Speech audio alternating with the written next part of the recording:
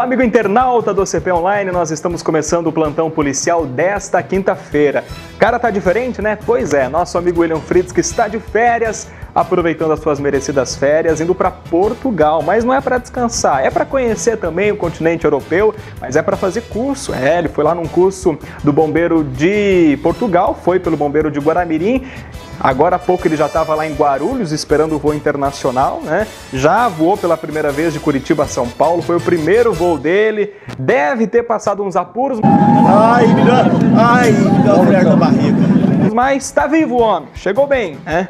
E eu, Daniel Filho, comando o plantão policial nessas próximas semanas, enquanto ele está de férias, claro, pedindo a sua contribuição, a sua colaboração e compreensão para nos ajudar nesse tempo aí. Tem sugestão de matéria? Quer sugerir alguma coisa? A equipe do Correio do Povo está pronta para atender, para correr atrás de informação, afinal, o nosso compromisso é esse. O plantão policial começa em nome da Cedro Móveis, tudo em um só lugar. Você, meu amigo, você é minha amiga, que quer mobiliar a sua casa, o seu escritório, lá na Cedro Móveis tem produtos de altíssima qualidade e condições de pagamento excelentes. É a melhor loja da região, da região imóveis. Fale com o meu amigo Neivor, com toda a sua equipe, uma equipe capacitada, altamente preparada para atender você. Em nome da Cedro Móveis, nós começamos o plantão policial de hoje.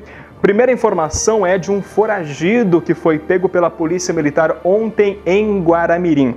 O homem, ele tem 41 anos, ele estava foragido por homicídio, homicídio cometido no Paraná e através de algumas denúncias, a agência de inteligência do 14º Batalhão aqui de Jaraguá do Sul, chegou a esse suspeito de 41 anos que estava na rua Miriam Cristofolini, no bairro Escolinha, lá em Guaramirim.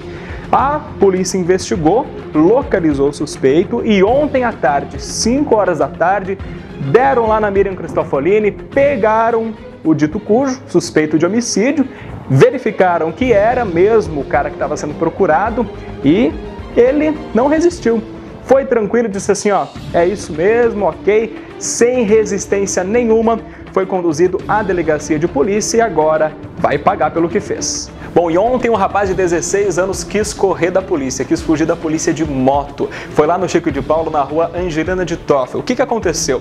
A polícia estava patrulhando as ruas ali, viu esse motociclista em atitude suspeita e resolveu abordá-lo. O que aconteceu? O rapaz, ó, quis fugir, é, quis acelerar a moto ali, provocou, segundo a Polícia Militar, danos, né, o risco de danos ao trânsito, a fazer algumas manobras perigosas. Logo depois, já entrou numa casa que estava com o portão aberto, a polícia chegou, abordou o suspeito, verificou, viu que ele tinha 16 anos, ou seja, não pode dirigir, não pode conduzir motocicleta, não pode ser preso também, né? Apenas foi conduzido à delegacia para fazer, né, ter uma conversinha aí, ele vai acusado de provocar perigo no trânsito ao fazer essas manobras aí, né? 16 anos, vamos com calma, só mais dois anos vai poder fazer autoescola e tirar carteira. Para que pressa? Bom, na Ilha da Figueira, ontem à noite, um acidente leve, mas que deixou um motorista ferido. A gente sempre fala aqui, o William sempre fala aqui no plantão policial, sobre a tensão no trânsito, né? E mais um acidente no período noturno em Jaraguá do Sul. O motorista, ele tinha, tem 24 anos, estava andando na José Teodoro Ribeiro, que é a rua principal ali da Ilha da Figueira, bateu num poste, em seguida bateu num carro que estava estacionado, provocou ali uma confusão, no, né, uma confusão no local. Os bombeiros voluntários de Jaraguá do Sul foram chamados e conduziram esse motorista de 24 anos com ferimentos leves para o Hospital São José. E para completar o serviço ali, fizeram uma operação de rescaldo só para evitar maiores problemas no local do acidente. Fora isso, tudo ok ontem à noite no trânsito de Jaraguá. Bom, e lembram daquele rapaz que estava desaparecido? É, aquele que o pessoal estava com medo de, se fosse encontrado, confundir com o Neymar de início de carreira? Pois é, ele foi localizado, na verdade a própria família conseguiu contato com ele. O que, que aconteceu? Segunda-feira, desde segunda-feira ele estava desaparecido e ontem o irmão dele conseguiu falar com ele. Adivinha, o rapaz estava de bicicleta, foi para São Bento do Sul de bicicleta, subiu serra e tudo e queria até chamar Xanxerê, que é a cidade de onde a família é natural, né? E aí, conversando e tal, tudo certo, o rapaz conseguiu chegar em casa de volta, chegou em casa ontem à tarde. O que, que acontece? Segundo o irmão contou para a equipe do Correio do Povo, né? Ele toma medicamentos contra a síndrome do pânico e também para desacelerar, des, desacelerar o crescimento. O que, que aconteceu? Ele estava um tempo aí sem tomar os medicamentos e é, provavelmente acabou tendo uma crise ontem e resolveu de bicicleta voltar para a cidade natural, né?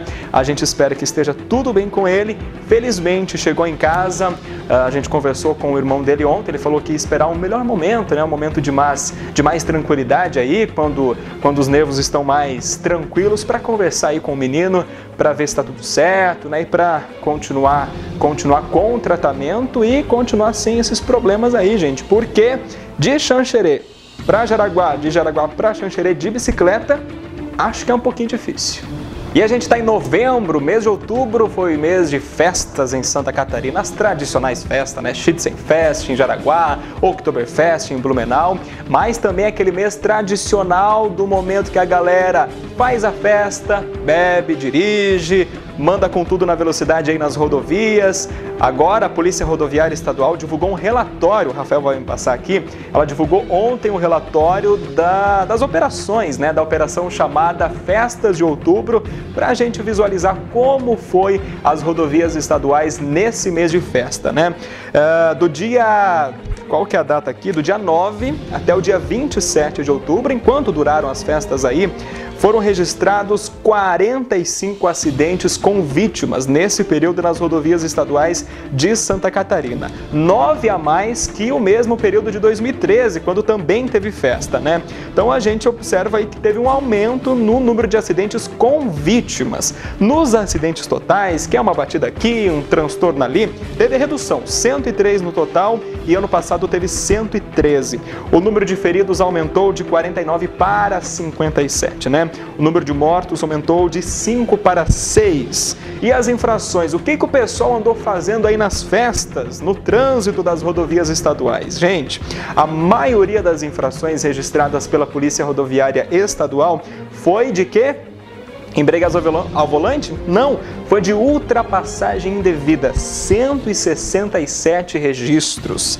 Veículos que estavam sem licenciamento para circular, 31 e condutores sem carteira, 7 álcool e volante, seis registros. A gente sabe que teve muito mais do que isso, né? Infrações graves, sem cinto de segurança, 48 ocorrências, 17 por falta ou defeito no equipamento obrigatório e seis aqueles motoristas espertos que alteram a característica do veículo e não fazem alteração lá no na documento, né? Não fazem alteração no documento do Detran. Então, esse foi o comportamento. A gente sabe que os números que são registrados pela polícia são bem inferiores aos números totais. Mas teve gente que nessas festas de outubro deu exemplo também. Obrigado, Rafael. Teve gente que deu exemplo também. Eu, por exemplo, naquele sábado, o, o penúltimo sábado da Oktoberfest, eu peguei um ônibus aqui de Jaraguá do Sul para Joinville, 6 horas da manhã. Então você imagina aquela galera de Blumenau no ônibus apagada, todo mundo apagadão. O pessoal aqui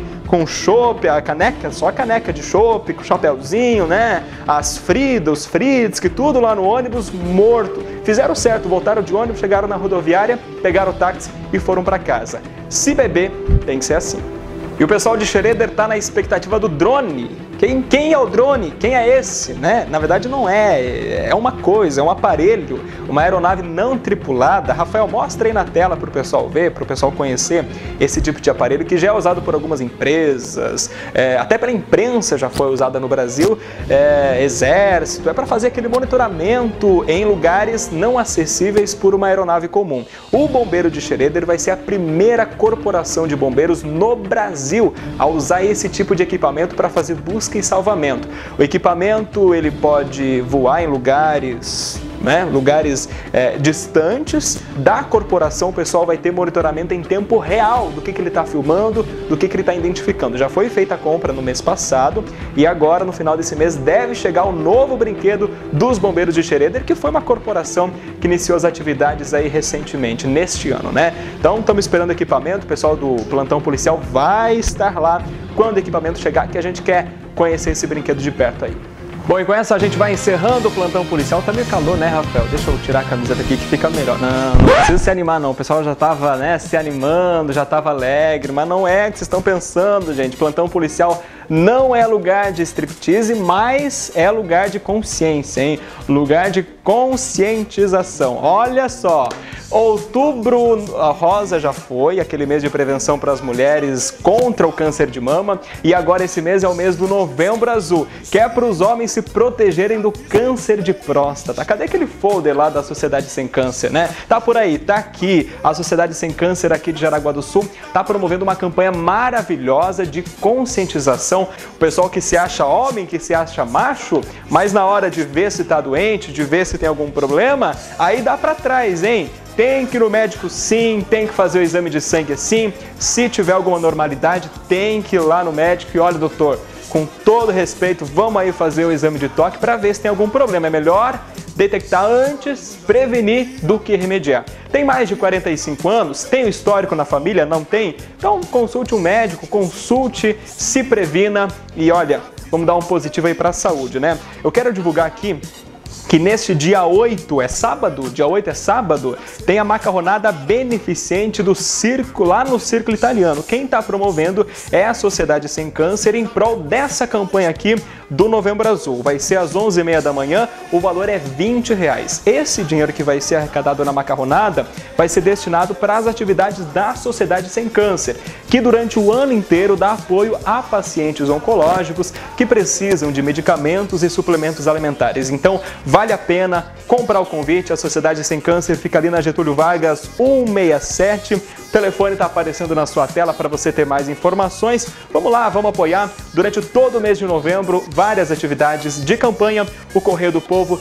também é parceiro. Vamos se prevenir, macharada! Amanhã tem mais um plantão policial. Amanhã já é sexta-feira, né? O pessoal já está aproveitando, já está sorrindo, já está alegre. Salário chegou, fim de semana chegando por aí. Até amanhã. Brilho do cristal.